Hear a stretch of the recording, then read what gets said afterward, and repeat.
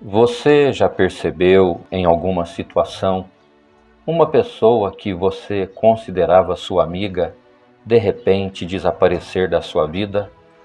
Daqui um pouquinho de tempo você descobre que ela está andando por aí, falando mal de você, que não gosta de você. As pessoas perguntam para essa pessoa: Mas por que você não gosta dele? Por que você não gosta dela?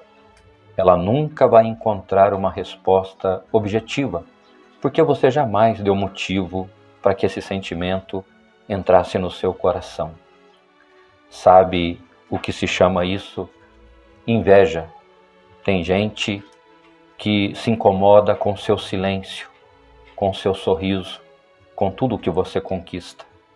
Por isso, eu te dou um conselho, mais uma vez te dou esse conselho Tome muito cuidado com quem você chama de amigo, com quem você coloca no seu ciclo de amizades.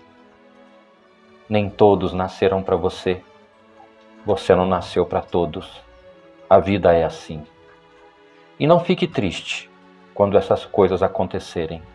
Na verdade, você não perdeu um amigo, você não perdeu uma amiga. Você recebeu de Deus um livramento